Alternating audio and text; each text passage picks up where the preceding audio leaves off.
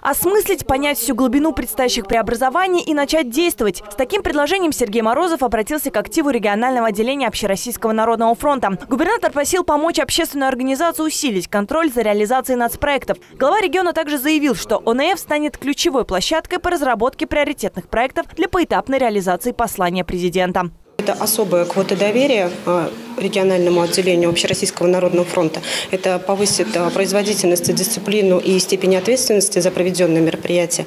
Полагаю, что в том числе а, общими усилиями, консолидацией этих усилий мы придем к общему положительному результату. Губернатор встретился с активистами в правительстве, где еще раз акцентировал внимание на основных положениях, которые звучали в послании Путина. Как и глава государства, Морозов начал беседу с демографией поддержки семей. Самая большая ценность нашей страны – человеческий капитал, отмечает губернатор. Сейчас в регионе действуют 33 меры соцподдержки для семей с детьми, 25 из которых областные. Хотел обратиться к вам э, с просьбой помочь правительству э, провести тщательный мониторинг наших мер поддержки – понять их эффективность и по результатам э, давайте вместе э, подумаем, э, в том числе о каких дополнительных мерах поддержки семьи с детьми могли бы с вами проговорить. Глава региона попросил Общероссийский народный фронт посмотреть глазами народа, а не чиновников на проблему нехватки ясельных групп в регионе. Президент в послании раскритиковал низкие темпы строительства детских садов для самых маленьких по всей стране. Морозов поддержал реформу в материнском капитале. В частности, речь идет о финансовой поддержке при рождении первого ребенка. Почти 467 тысяч начнут получать женщины, родившие уже в 2020 году. Сергей Морозов поручил не обижать рублем в регионе тех, кто родился чуть раньше. Давайте мы тоже вместе подумаем некой такой вот э, региональной программе материнского капитала, которая захвати, захватывала бы и часть 2019 года. Ну, как минимум, э, чтобы людям было менее обидно.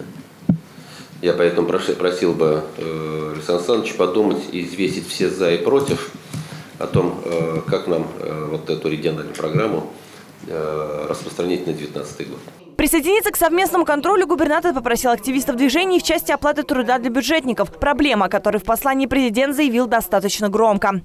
С учетом того, что президент э, объявил, что новая система будет основана на едином для всей страны перечне надбавок и компенсаций, э, здесь будет создана специальная э, такая вот подгруппа, а, который э, еще будет более широко смотреть не только здравоохранение, но и образование. Поэтому вы посмотрите, э, если у вас будет желание э, войти в состав этой подгруппы. В свою очередь, каждый из общественников доложил о текущей ситуации по выполнению нацпроектов. Итоги общественного контроля неутешительны. Особенно, что касается безопасности и качественности дорог, ведущих к соцучреждениям. Только в областном центре Народный фронт проверил пути к 23 школам, и все они не выдерживают никакой критики. Паспорты безопасности не приведены в соответствие. Лукавство было первое. Это мы только по семи школам посмотрели. Обратились в Министерство образования и в э, Управление образования. Друзья, проанализируйте, пожалуйста, по всей области для того, чтобы привести в соответствие паспорта безопасности.